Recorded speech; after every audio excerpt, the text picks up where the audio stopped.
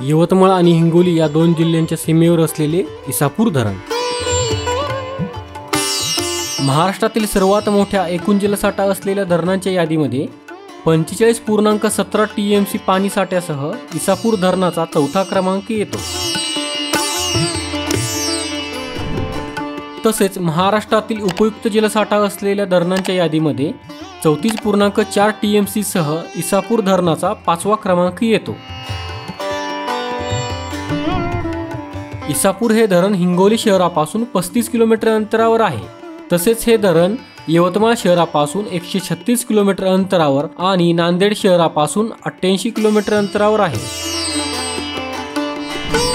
इसापूर हे धरण पैनगंगा नदीवर एकोणीसशे एकाहत्तर ते एकोणीसशे ब्याऐंशी साली बांधण्यात आलेले आहे. वैनगंगा ही नदी वर्धा नदीची उपनदी आहे. वर्धा वैनगंगेला मिळते या प्रवाहाला प्राणहिता म्हणतात. प्राणहिता ही पुढे गोदावरीला मिळते.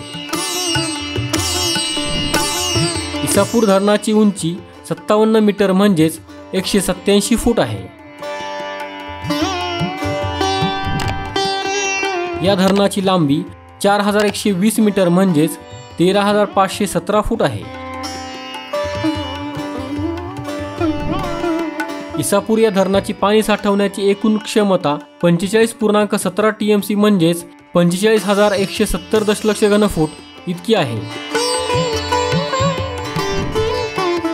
इसापूर या धरणाची पाणी साठवण्याची उपयुक्त क्षमता चौतीस पूर्णांक शून्य चार टी एम सी म्हणजेच चौतीस हजार चाळीस दशलक्ष घनफूट इतकी आहे. इसापूर धरणाला पंधरा दरवाजे आहेत. इसापूर धरणातून दोन कालवे जातात. या दोन कालव्यांचा हिंगोली यवतमाळ आणि नांदेड ह्या तीन जिल्ह्यांना फायदा होतो.